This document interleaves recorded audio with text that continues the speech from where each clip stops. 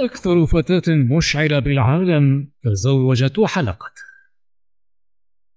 دخلت عش الزوجية الفتاة سوباترا سوسوفان 17 عاما التي تم الاعتراف بها في عام 2010 كأكثر فتاة مشعرة في العالم وفقا لتصنيف موسوعة جينيس للأرقام القياسية. أفادت بذلك صحيفة مترو وذكرت أن الفتاة من سكان بانكوك عاصمة تايلاند. وهي تعاني منذ الطفولة من مرض نادر متلازمة إبرامز المعروف أيضا باسم فرط الشعر أو متلازمة المستذئب. لمتابعة الحلقة ومشاهدة الكثير من الفيديوهات المثيرة لدى قناة معلومة فقط قم بالاشتراك مع تنشيط علامة الجرس. وتجدر الإشارة إلى أنه ومنذ العصور الوسطى.